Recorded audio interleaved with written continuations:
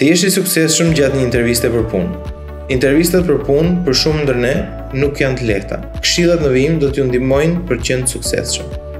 Përpara intervistës, mblidh të dhënat për vendin e punës, kompaninë.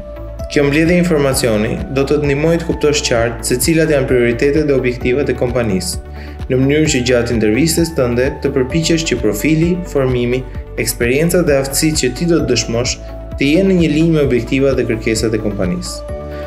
Rivlerëso veten. Çfarë njohurish, aftësish, talenti duhet të nxjerrësh në pah gjatë intervistës? Përgatitu t'i japësh përgjigje pyetjeve më tipike të një interviste pune. Përse të intereson kjo fushë ku kërkon të punësohesh? Përse të intereson kjo kompani? Përse të intereson ky pozicion? Përgatitu t'i përgjigjesh pyetjeve më të vështira që kanë lidhje me CV-në tënde. Përgatit pyetjet që mund t'i bësh punëdhënësit të mundshëm. Cilat janë detyrat dhe përgjegjësitë kryesore për këtë vend pune? Si do të matet performanca ime në punë? Nga kush dhe sa herë? A ekziston mundësia e lëvizjes brenda kompanisë në pozicione, detyra të tjera? Zgjidh veshjen e duhur, mbi bazën e vendit të punës së synuar, por edhe që të ndihesh mirë gjatë intervistës. Shmang aksesorët e tepërt dhe mbaj parasysh që edhe përmes veshjes mund të mbetesh në mendjen e të intervistuarit. Vendi i intervistës. Para intervistës llogarit kohën që të duhet për të arritur në vendin e intervistës. Është mirë që të jeni minimumi 15 minuta para në takim. Merr kopje të CV-së tënde dhe një blok të vogël shënimesh për çdo rast. Gjatë intervistës.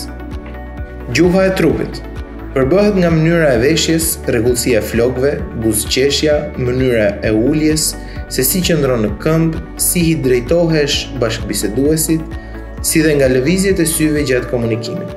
Vendosni kontakt me sy me bashkëbiseduesin. Zëri Ka rëndësi toni Pauza mes elementëve flet ngadalë apo shpejt niveli i zërit. Mesazhi Interesi i parë për personin merret 7 deri në 20 sekondat e para. Pyetje të mundshme gjatë intervistës. Më fol për veten tënde. Çfarë dini për kompaninë tonë? Përse të pëlqen të punosh këtu? Kush është pika jote më e dobët? Cilat janë arritjet e tua më të mëdha? Cila është situata më e vështirë që ke ndeshur? Cilat janë pikat e tua më të forta? Preferon të punosh vetëm apo në grup? Arrin të punosh me çfarëdolloj tipi personi apo shmang dikë? Pas intervistës, Siguroni që pas intervistës të merrni kartëvizitat e të gjithëve dhe shkruani edhe një email falënderimi në fund të ditës. Edhe nëse nuk e fitoni punën, nuk ka problem. Është një përvojë më tepër që ju mëson si të përgatiteni dhe të përballeni me emocionet e intervistave. Mos harroni se ndoshta në muajin në vijim mund të hapet një pozicion tjetër dhe ata mund t'ju telefonojnë sërish.